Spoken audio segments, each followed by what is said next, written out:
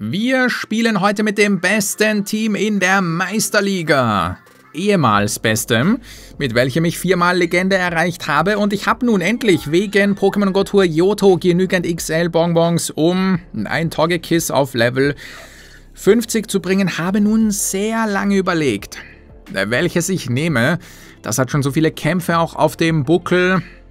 Wäre eine schöne Erinnerung, das auf Level 40 zu belassen, aber ich glaube, ich werde dieses hier pushen und sollte ich die Classic ohne XL mal wieder spielen, dann da brauche ich mir hier einfach ein zweites. Mit dem kämpfe ich auch manchmal in der Arena, wenn ein, keine Ahnung, Dragoran oder so am Start ist.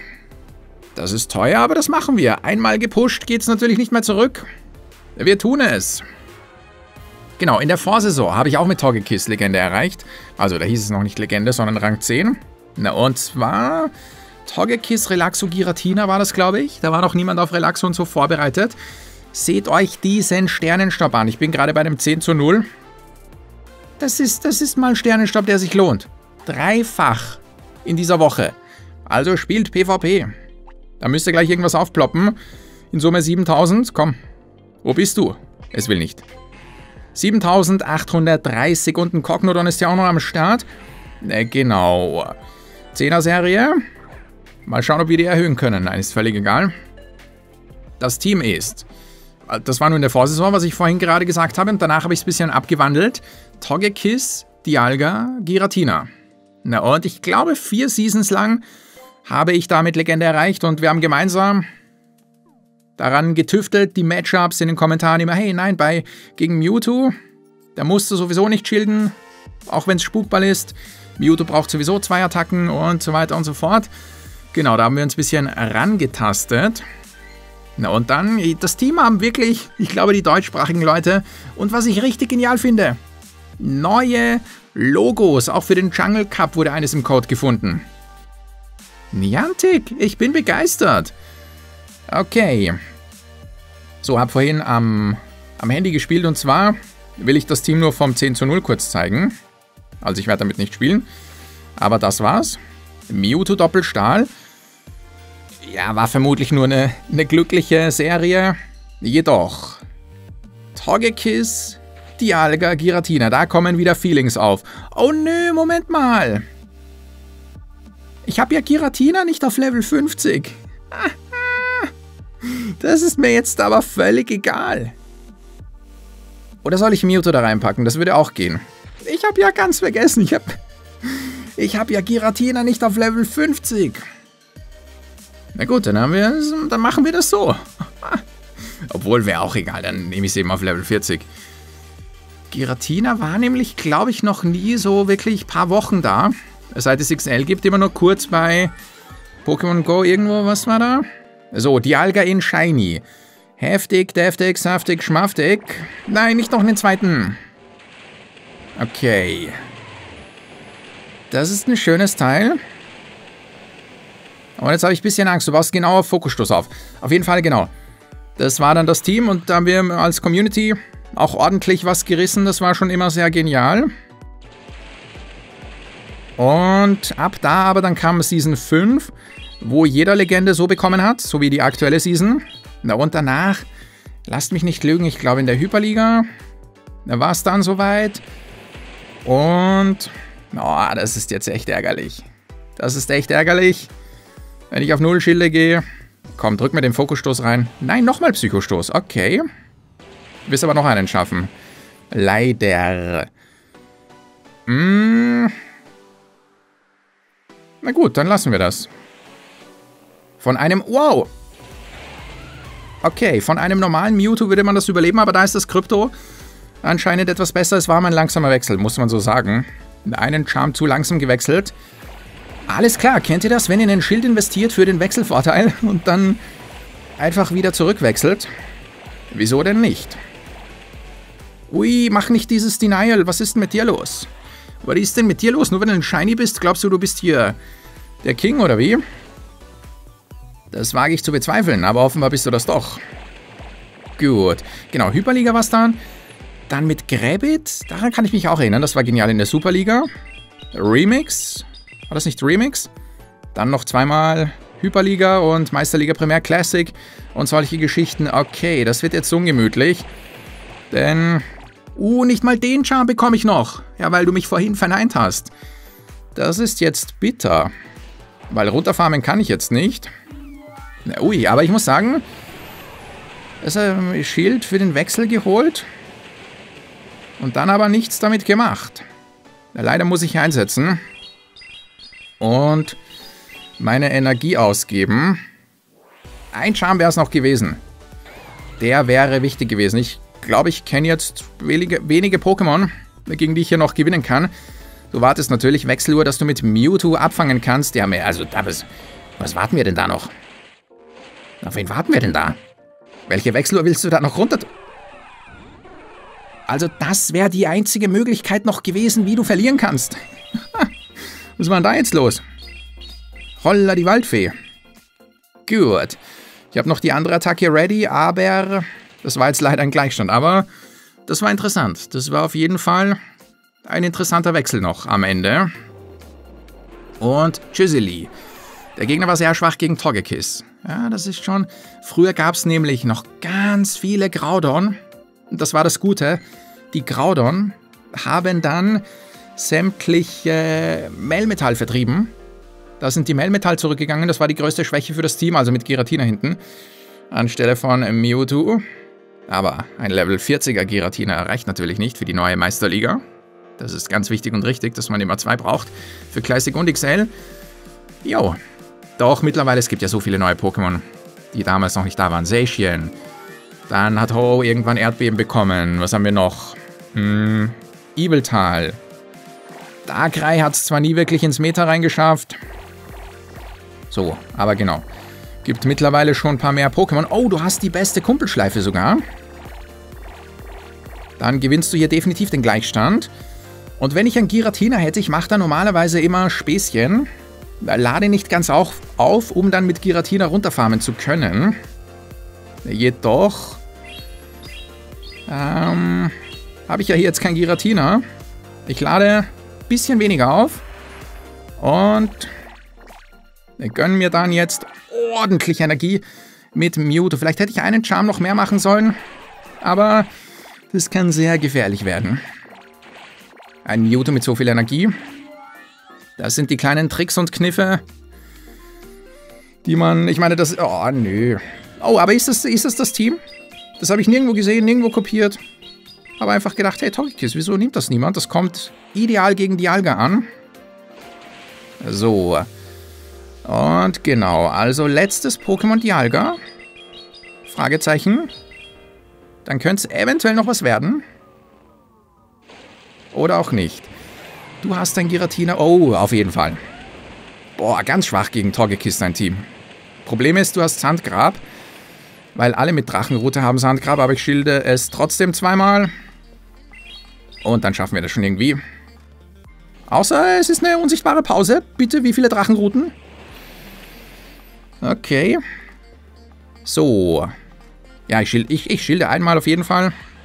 Beim zweiten Mal muss ich mal noch überlegen. Aber vermutlich das zweite Mal auch. Fahren wir einfach runter und danach Eisenschädel rein. Okay, dafür hattest du jetzt eine Pause. Okay, doch nicht, weil dann kommt doppelt Drachenroute. Aber... Moment, hat das Giratina irgendwann eingesetzt? Hat das Giratina irgendwo eingesetzt? Nein, ich glaube nicht, oder? Ich glaube, der Schild ist doof. Weil ich habe die Attacke nicht. Uff, der Schild war richtig doof. Der war nicht so schlau, aber hat noch gepasst. Und was nicht passt, wird passend gemacht. Oder war Giratina schon mal länger da? Ich meine, im Grunde mittlerweile reicht ja ein Tag. Es gibt so viele Raid-Apps und so. Und wenn ein Event, auch wenn es nur einen Tag ist, weltweit ist und man macht ein paar Stunden Überstunden, lässt sich aus Amerika überall einladen, dann kann man an einem Tag genügend XL haben. Dann macht man noch ein paar Marathons über Nacht. Gibt ja auch schon einige mit Sarut mit genügend XL. Plus jetzt gab es noch die XL Sonderbonbons bei den Raids.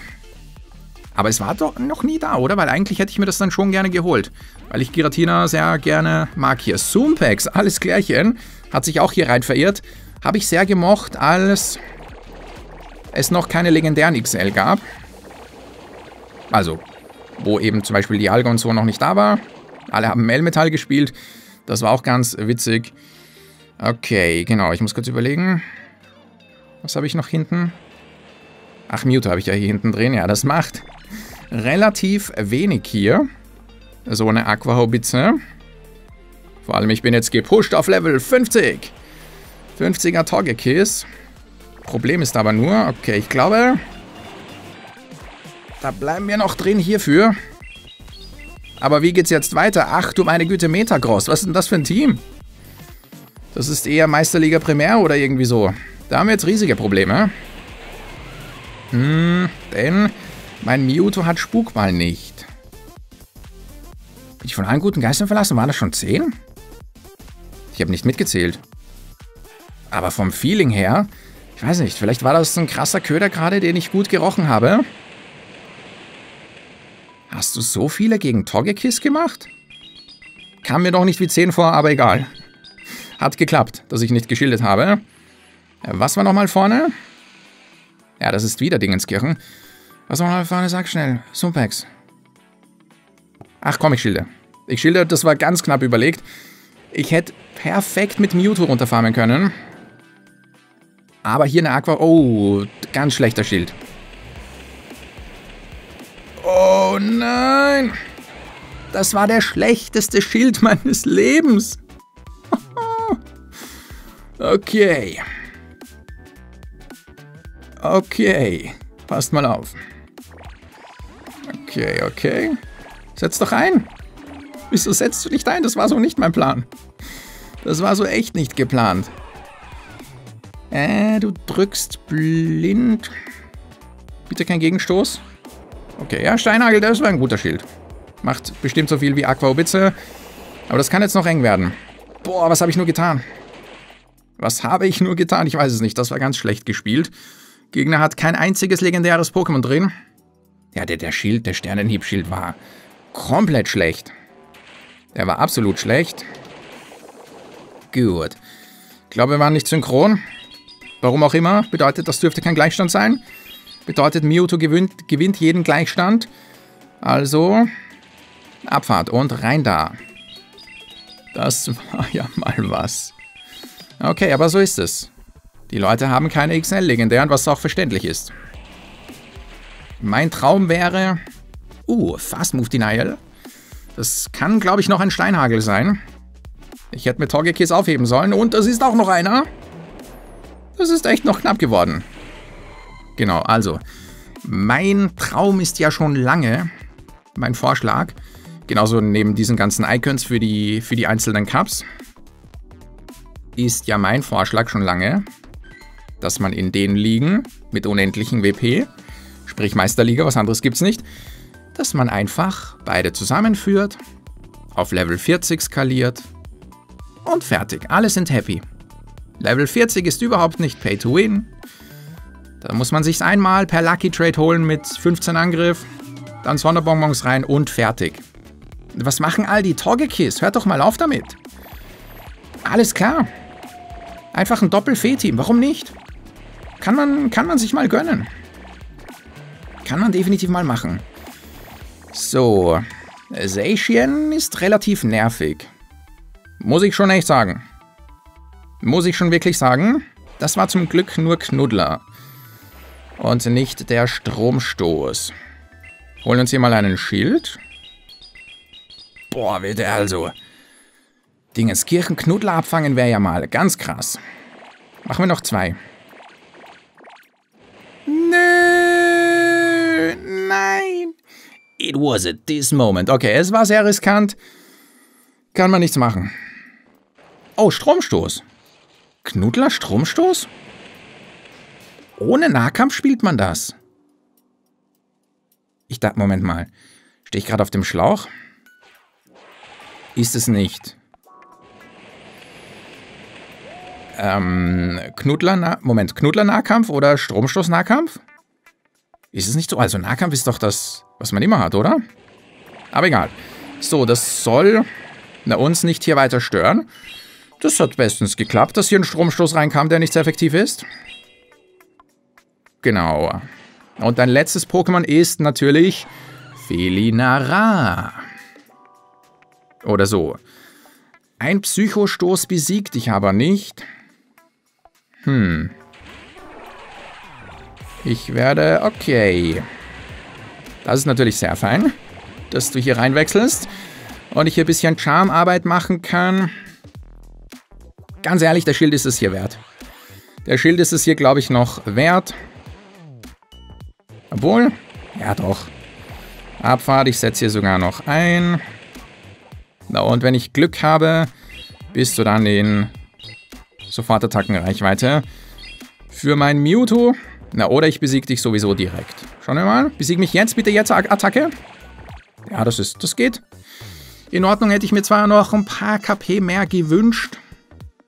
Jedoch eine Sofortattacke bekomme ich durch. Und ich glaube nicht mal, wenn das Togekiss den Boost bekommt, kann das noch gewinnen. Denn zweimal Psychostoß sollte hier definitiv ausreichen. Okay, ich mag Togekiss. Ich, irgendwie mag ich Togekiss. Wenn die Melmetall fernbleiben, dann mag ich Togekiss. Und gutes Nächtle an dich. Würde ich mal behaupten. Tschüsseli, was war das? Togekiss plus Wieso bist du da sofort gewechselt? Was waren da nochmal? Ach so, Seishien, genau. Togekiss, Seishien, Palkia. Da mag jemand die Feen. Ich mag auch die Feen. Sehr sogar. Und einen Kampf haben wir noch hier. Gut, genau, was wollte ich noch sagen? Ja, das, das wäre so mein Traum. Ich weiß, ich, ich will Niantic das nicht unterstellen. Machen Sie es, weil Sie das Geld ordentlich melken wollen. Oder weil noch niemand bei Niantic auf die Idee kam. Das ist so, was ich mich frage. Ist noch niemandem eingefallen, dass es bei Meisterliga eigentlich kein Classic benötigt, sondern man das einfach zusammenführen kann? Oder ist das schon jemandem eingefallen? Die Leute haben gesagt bei Niantic, hm, aber dann verdienen wir ja kein Cash von den Leuten, die extra die ganzen Legis hier auf Level 50 raiden. Hier, das ist ein Shando. Ein Shando, ein schillerndes Hando, glaube ich. 4620 sind die 100er mit Level 51 bester Kumpelboost. Und natürlich kostet sowas das ein Vielfaches von einem ganz normalen Legendären. Ich weiß auch, wo die, früh, die Leute früher gesagt haben, oh, Meisterliga, so teuer, so. Und ich habe mich die ganze Zeit gefragt, ja, aber wie raidet ihr? Wie kämpft ihr in der Arena? Man muss nur einmal Mewtwo X-Ray-Einladung zum Beispiel und dann Sonderbonus reinstecken. Fertig. Und jetzt ist es teuer. Mit XL ist es teuer. Bitte schaff nicht noch eine, aber du schaffst noch eine mit einem KP. Oder mit 5 KP. Hm. Nö, kann ich nicht machen. Kann ich nicht machen. Hier nicht zu schilden. Denn dann würde ich nicht lachen. Aber genau. XL ist teuer. Früher, mir wollte niemand glauben, dass eigentlich die Superliga das teuerste ist. Ein Azumarill muss man auch auf Level 40 pushen und so weiter. Was man da nicht alles braucht. Ach, wie schön. Die OG Meisterliga. Das OG Togekiss vorne. Sag nicht du... Oh, oh, oh, ich hatte hier eigentlich immer... Ich muss jetzt hier fast schilden. Mein Handy läutet gerade. Ich kann das Ding nicht runterfahren und so, ansonsten ich brauche hier noch einen Charme. Und jetzt muss ich, muss ich raus. Ich muss mal schauen. Oh! Aber das ist eigentlich ein Fehler, was ich hier gerade mache. Oh, krass. Togekiss Sweep. Aber jetzt verliere ich leider. Ich hätte, wenn dann sofort wechseln sollen. Aber ich glaube, hätte ich auch nicht gepackt. Obwohl doch. Dann hätte ich es vielleicht gepackt. Ich hätte einen, ein, zwei Charm machen sollen und dann wechseln. Eieiei. Oh, Wutanfall. Okay. Dann hätte ich es nicht gepackt. Nö. Dann hätte ich es definitiv nicht gepackt. Der Wutanfall hast du gleichzeitig wie ich zwei Psychostöße, aber zwei Psychostöße hätten dich nicht besiegt. Na, ohne Charm-Vorarbeit. Aber ja, der Boost. Ich habe das, hab das nie mit Antikkraft gespielt. Damals, das OG-Team war mit Aeroas. Auch gegen Kraudon und so, aber alle wollten Antikkraft wegen Boost und so. Doch mittlerweile muss man sagen, Lugia ist da, dagegen ist es effektiv. Dann Ho-Oh ist da, dagegen ist es sogar gegen beide Typen effektiv, sehr wichtig. Ibeltal, da ist Antikkraft wichtig. Also mittlerweile, die Zeiten haben sich geändert. Die Zeiten haben sich geändert. Und der Sternenstaub ist ordentlich am Start. Also zockt die Woche ein bisschen durch. Und genau. Jetzt habe ich einen Level 50er. Togekiss, was ich schon lange haben wollte. Für die Folge soll es mal gewesen sein. Ich bedanke mich fürs Zusehen und es geht einfach beim nächsten Mal weiter.